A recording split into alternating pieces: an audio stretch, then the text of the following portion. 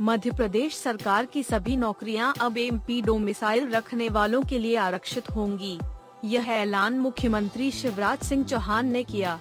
उन्होंने कहा कि इसके लिए आवश्यक कानूनी बदलाव जल्द ही पेश किए जाएँगे। प्रदेश सरकार ने एक महत्वपूर्ण फैसला किया है।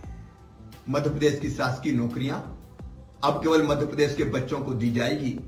इसके लिए हम आवश्यक कानूनी प्रावधान कर रहे हैं। मध्य प्रदेश के संसाधन मध्य प्रदेश के बच्चों के लिए। आपको बता दें कि राज्य की 27 विधानसभा सीटों पर उपचुनाव होने वाला है।